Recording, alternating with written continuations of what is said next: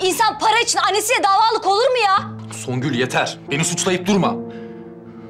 Annemin evimizi taşlatması normal, beni işten kovdurması normal.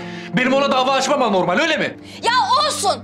O öyle bir insan diye sen de öyle bir insan olmak zorunda değilsin. Para senin için bu kadar mı önemli anasını satayım? Ya üç gün dayanamadın fakirliğe be. Ben senin için açtım o davayı. Sen sefillik çekme diye. Ya sefillik benim göbek adım. Ben ömrümü bir kuruş bir kuruş hesaplayarak geçirdim.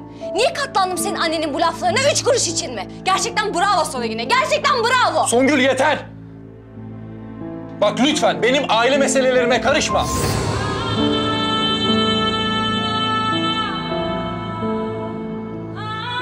Aile meselelerin öyle mi? Ya ben senin neyinim?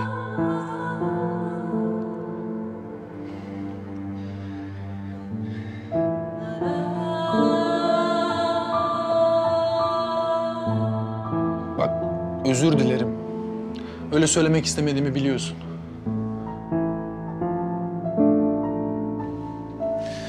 Kızım sen benim her şeyimsin. Dokunma bana Güney.